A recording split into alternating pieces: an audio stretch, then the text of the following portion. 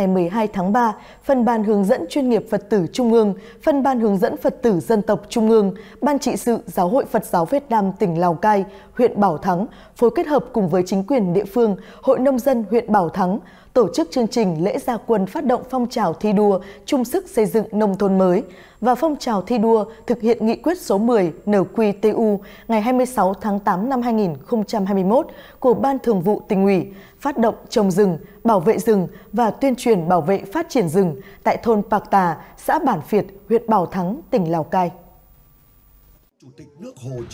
Phát biểu tại buổi lễ, Đại đức Thích Chân Định, Phó Thường trực Phân ban Phật tử Dân tộc Trung ương, trưởng ban hướng dẫn Phật tử tỉnh Lào Cai, trưởng ban trị sự Phật giáo huyện Bảo Thắng nhấn mạnh về nhiệm vụ của Phật giáo cùng chung tay với cộng đồng, các cá nhân tổ chức trong việc huy động sức mạnh tổng hợp, nhân rộng hoạt động trồng rừng để ứng phó với tình trạng khẩn cấp về biến đổi khí hậu và ô nhiễm môi trường trên mảnh đất biên cương bản Việt nhằm mang lại hiệu quả kinh tế thiết thực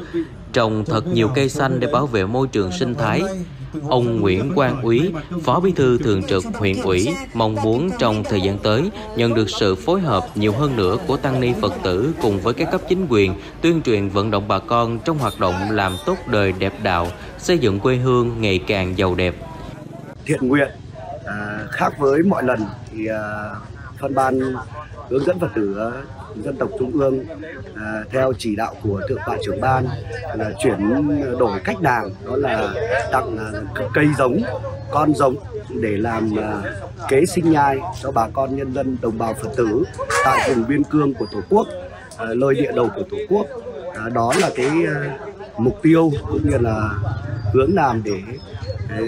về lâu về dài bà con nhân dân bớt những khó khăn. À, đợt này thì phân ban hướng dẫn Phật tử à, dân tộc Trung ương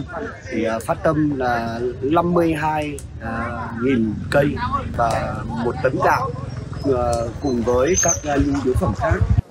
22 hộ được nhận cây giống đợt này sẽ lựa chọn ngày thời tiết tốt, thuận lợi để triển khai trồng hết số lượng cây được cấp phát ngay trong tháng 3 năm 2024. Lễ phát động đã tạo cho từng hộ dân có nguồn sinh kế gắn với rừng trên địa bàn xã Bản Việt nói riêng và toàn huyện Bảo Thắng nói chung, tích cực tham gia trồng cây, trồng rừng để bảo vệ nguồn nước, bảo vệ đất, phòng chống thiên tai và gìn giữ môi trường sống trong lành. Dịp này, Chư Tôn Đức cùng toàn thể đại biểu tham gia lễ khởi công tuyến kè đá đường giao thông nông thôn và tham gia trồng rừng. Cuối buổi lễ, Chư Tôn Đức cùng các ban ngành, lãnh đạo phát động phong trào thi đua, chung sức xây dựng nông thôn mới và phong trào thi đua thực hiện nghị quyết số 10 trên địa bàn xã Bản Việt trong không khí tràn đầy đạo vị.